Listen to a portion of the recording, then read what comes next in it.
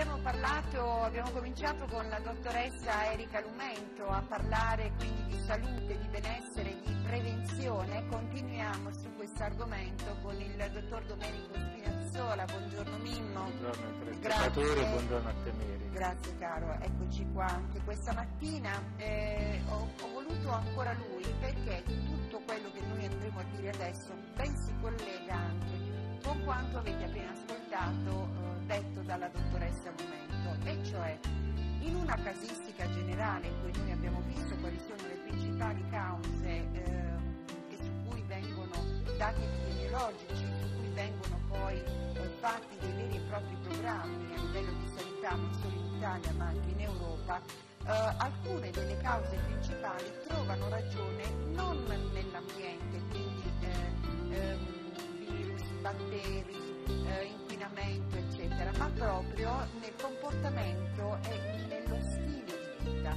che, condotto in maniera errata, produce poi inevitabilmente delle gravi conseguenze sullo stato della salute in generale, giusto? Certo, noi già la volta scorsa abbiamo visto come eh, la malattia o l'incidente stesso oh, ha più fattori, più cause quindi vedremo dalla, dagli ambienti di vita, gli ambienti di lavoro, al fattore anche genetico, al genotipo. Però eh, ci soffermiamo su una parte importante invece che sono gli stili di, di vita esatto. o comportamenti scorretti che il cittadino adotta e quindi di conseguenza poi incorre in quella che è la, la malattia o nell'incidente. E in effetti ehm, è, è, la causa maggiore perché eh, se noi vediamo proprio dei, da, da, alcuni dati la, gli stili di vita scorretti provocano praticamente dal, dal 40 al 50% dei, dei, casi che provocano eh, mortalità e morbidità. Ecco, io, e quindi, ecco, ecco, prego. Scusami, invitavo la regia proprio a mandare eh, questa slide, questo che le nostre telespettatrici hanno un quadro più chiaro, no? Certo, questo, questa, quindi noi praticamente da, da, su questo ci possiamo soffermare perché gli stili di vita scorretti, i comportamenti scorretti abbiamo detto che sono, la, eh, sono quelli che provocano più, eh, più danni. E, ehm, questi stili, di vita scorretti sono stati dovuti proprio negli ultimi 50 anni dove c'è stato cam, un cambiamento da quello economico a quello sociale stesso, alla tecnologia, all'aumento pure di, di, di, disponibilità di farmaci, che è vero che ha fatto sì che eh, ci sia stato un aumento de, del, della vita del, del, cittadino, della persona, però ha anche creato delle, delle situazioni particolari di malattie cronico-degenerative che dei dati epidemiologici abbiamo visto essere insomma, abbastanza serie abbastanza particolari. E tra gli stili di vita eh, scorretti insomma, abbiamo innanzitutto le abitudini alimentari, abitudini alimentari perché noi comunque abbiamo un'alimentazione eh, scorretta perché è eh, un'alimentazione ipercalorica, un'alimentazione ricca di alimenti e di bevande eh, piene di zuccheri, abbiamo abitudini voluttuarie eh, particolari quali il fumo delle, delle sigarette, il fumo delle sigarette che ormai è una brutta bestia che non si riesce ancora a debellare e il cittadino non riesce ancora a percepire questo rischio particolare che è il fumo della sigaretta, eppure è la prima causa di morte addirittura. Ecco. E poi ci soffermeremo, poi ci soffermeremo su questo perché è una, è un, questo è uno dei fattori di rischio più, più importanti. Quindi il fumo delle sigarette, l'abuso di alcol, l'utilizzo di droghe, eh, l'abuso di farmaci da banco eh, in maniera impropria, eh, il gioco d'azzardo che ormai eh, è, insomma, è diventato all'ordine del giorno. E poi abbiamo il discorso anche della sedentarietà, abbiamo dei, degli stili di vita che ci fanno uh, stare tanto tempo seduti, uh, ormai se dobbiamo muoverci uh, utilizziamo l'auto, anche per fare pochi passi, magari per andare a comprare pure, pure le sigarette, perché siamo così abituati all'auto, eppure su questo ci, ci, sarebbe anche da soffermarsi, visto che siamo in un periodo di crisi particolare, insomma utilizzare l'auto dove praticamente il, il carburante costa quello che costa, insomma, essere tranquillamente potrebbe, esatto. facendo qualche, qualche l'altro, in più.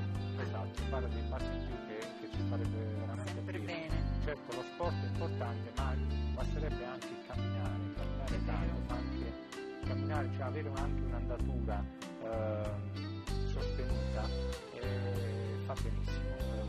Per i soggetti che magari non possono fare sport a certi livelli lo fa anche meglio. Eh, quindi basterebbe ripetere muoversi qui tranquillamente, imparare a salire e scendere le scale.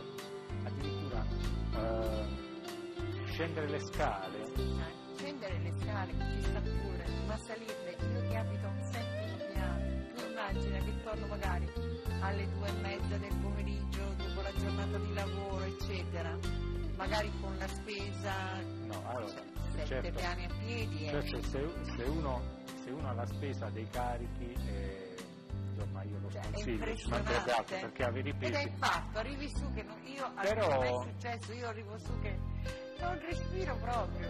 No, però eh, il fatto di se è liberi da, da pesi è importantissimo. Anche io abito a un sesto piano, non a un settimo, e i, miei condomini che vedevo io stavo scendo a piedi, inizialmente si preoccupavano. Però una volta che ti abitui fa veramente bene alla circolazione, Poi non è detto che debbano essere tutti e sette, Sì, no, ma poi esatto, un anche un giorno due, un giorno perfetto, tre, cioè, fino a che piano abituarsi. piano il corpo. No, esatto, ma anche per esempio scendere le scale va benissimo perché eh, scendere le scale si consumano tante calorie perché la persona nello scendere le scale deve assestare tutta una serie di muscoli per l'equilibrio e quindi il consumo energetico è tanto, addirittura si prevedono, se, se noi mettiamo a paragone un'ora di, eh, scale, si consuma più scendere le scale che fare facendo nuoto Certo. addirittura 600 calorie eh, sul- nello scendere le scale a dispetto delle 500 eh, facendo, nuoto, facendo nuoto. Quindi mettere in evidenza eh, l'importanza, che poi tra l'altro iniziamo anche a non utilizzare l'ascensore, quindi evitiamo anche i consumi energetici, evitiamo l'usura dell'ascensore, perché no? In un periodo come questo fa anche bene tutto questo, fa anche bene E quindi ehm, la sedentarietà eh, e poi lo stress. Ecco, Sappiamo bene, qui dimmi, tu che... No, stavo pensando che proprio l'altro giorno abbiamo mandato, c'era una dedica non simpatica evidentemente, il figlio, che augurava buon compleanno a sua mamma. E ha scelto una canzone, una canzone che sicuramente ascoltato, che dice sto lontano dallo stress, Fumo fumo poco dopo poco gioco e dopo gioco a PES. PES che è un,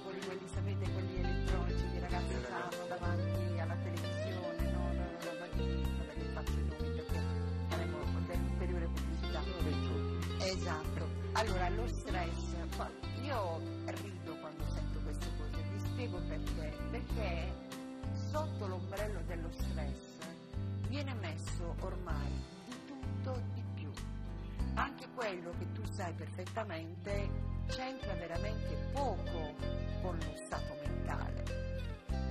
Cioè, oggi va ah, lo stress. Sai, ho dormito poco bene, eh, quello è lo stress. C'ho un cerchio alla testa, lo stress. A volte, Come si fa ad no, a abbracciare? volte si fa un utilizzo improprio di questo Hai capito? termine. Anche se poi ehm, lo stress, stress. Mi è venuto a male il dolce, lo stress. stress. Ci sono due fasi di stress comunque, la fase di stress e la fase di stress. Nella fase di stress eh, è positivo perché è quella fase che ci permette di fare tante cose, delle cose eh, in cui siamo in difficoltà per esempio, dove si mette in circolo quell'adrenalina giusta che poi ci, ci dà la, la forza per farle. E invece sono delle situazioni ovviamente dove noi andiamo sempre in stress che poi ci provocano dei, dei danni, che, che è la fase di distress praticamente.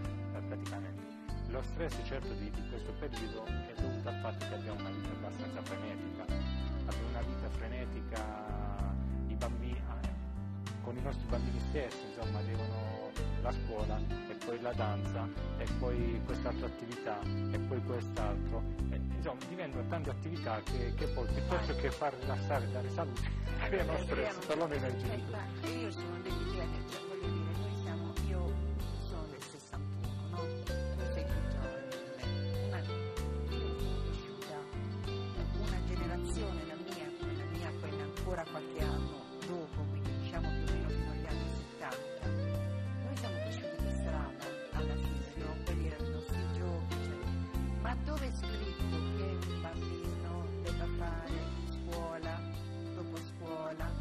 palestra, pianoforte, danza, canto. E poi il genitore deve fare da autista accompagnare per queste Il attività. genitore, poi, il genitore poi farlo stressato perché deve accompagnare ripetutamente il figlio. Tra l'altro molte di queste attività sono anche a pagamento.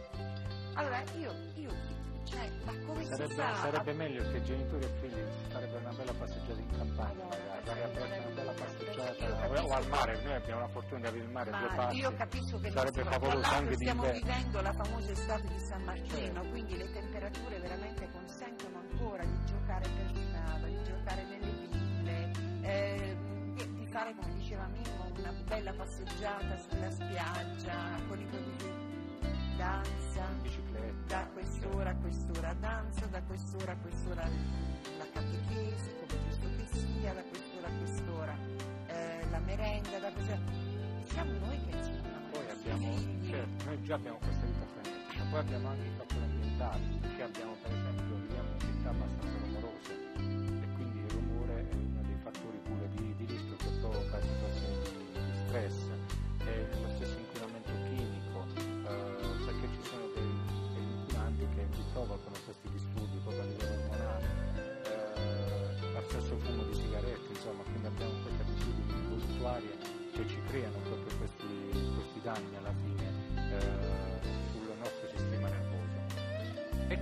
abbiamo anche lo stress è tanto, potremmo poi soffermarci che... E poi abbiamo anche il discorso di- della pubblicità, noi abbiamo pubblicità, eh, tu stai facendo una, stai facendo una faccia particolare, in effetti noi abbiamo eh, una situazione eh, particolare sulla pubblicità occulta, sulla pubblicità eh, subliminale per esempio. Esatto. Eh, Dovremmo trovare la pubblicità dovremmo presentare esempio No, poi ci alle possiamo soffermare.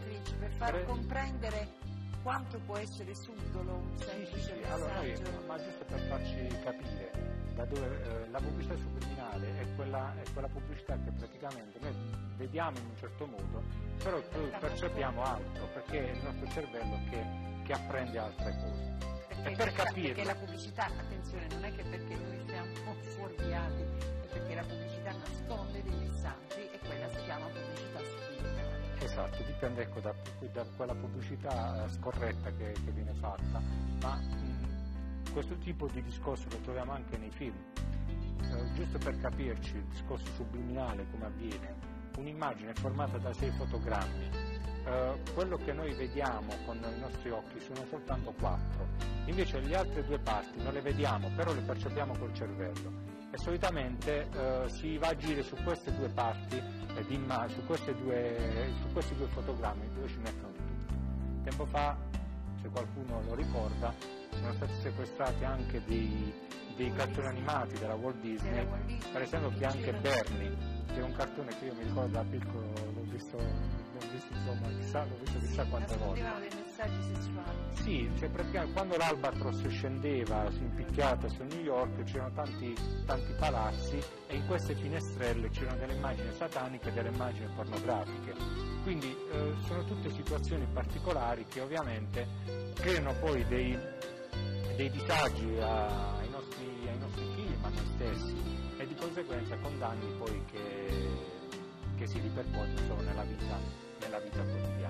Quindi sono situazioni particolari che poi sicuramente approfondiremo col discorso dei determinanti, eh, dei determinanti di salute. Quindi questi sono un po' gli aspetti generali dovuti agli stili di, agli stili di vita, insomma, dove, eh, dove insomma, bisogna, far, bisogna riflettere su questi, su questi aspetti se vogliamo effettivamente non incorrere in situazioni particolari di patologie o di incidenti. Ecco, quindi chiudiamo con questa pagina, insomma, con eh, questa slide dedicata appunto a quelle che possono essere eh, le cause del vivere male e che, che vanno poi ad incidere sulla salute ehm, e con questo si chiude anche lo- il nostro spazio di questa mattina.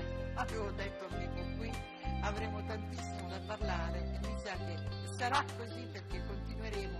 La prossima volta, oggi abbiamo visto quelle che possono essere le cause, la prossima volta vedremo quelle che possono essere le soluzioni, quindi l'appuntamento con il dottor Domenico Spinazzola sarà per lunedì prossimo E Grazie, ai grazie- telespettatori per la pazienza e grazie a te soprattutto per il No, no, è, è bello invece perché vedete, si scoprono sempre nuove e si capiscono meglio certi meccanismi. Per quanto mi riguarda il nostro tempo finisce qui, io torno a ringraziarvi per la partecipazione, continuate a mandare i vostri sms al numero che vedete in sovraimpressione, cercherò di prendermi cura di ognuna delle vostre richieste